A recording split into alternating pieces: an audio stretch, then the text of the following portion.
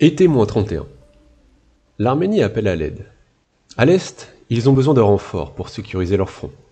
Je leur envoie ma sixième légion. Elle bloquera toute tentative d'intrusion et permettra une offensive de la part de mes alliés. Pendant ce temps, je suis enfin arrivé avec ma deuxième légion aux portes d'Ammonium, en Libya. Je capture la région sans réelle résistance, et ma septième légion s'occupe de Parétonion, au nord. Je décide de continuer vers Ogila, pendant que ma première classie s'occupe des troupes judéennes en mer. L'Égypte, avec mon soutien, n'a qu'à reprendre Alexandrie, et s'en sera du passé que de la Judée.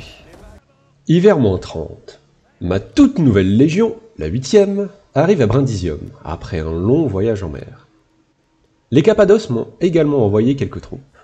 Il est temps de faire un choix. Sud ou nord?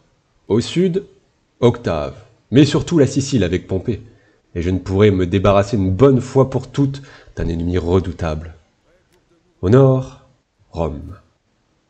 Prendre Rome et la faire prospérer m'apporterait les soutiens de tous les Romains.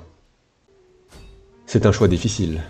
Je prie Gila, comme par réflexe, perdu dans mes pensées.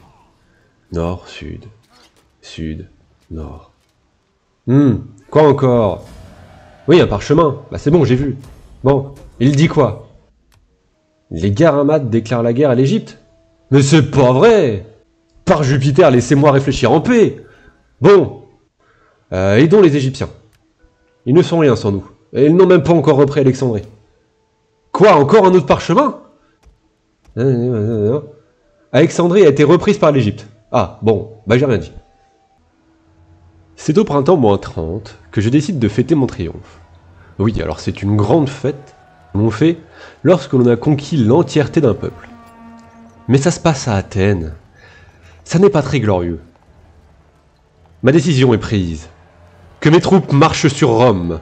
Je veux que mon prochain triomphe se fasse à Rome. Devant le monde romain. Devant mes sœurs. Et mes frères romains. Alors que je monte les marches, sous l'œil de mes citoyens, de mes armées, j'imagine, j'imagine derrière le Colisée, se tenant, et l'arc de triomphe, moi, dominant Rome. Dans un premier temps, j'envoie ma classe 6 à Asculum. J'hésite encore à envoyer ma huitième légion au niveau de Bevenentum. Faut dire que ça laisserait Brindisium sans défense. On verra ça un petit peu plus tard.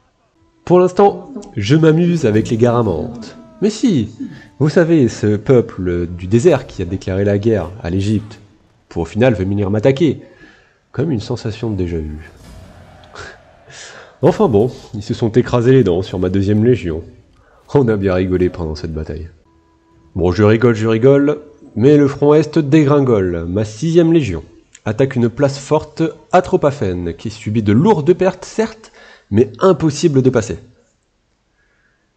C'est finalement après plusieurs mois qu'ils vont réussir à prendre la capitale, Fraspa.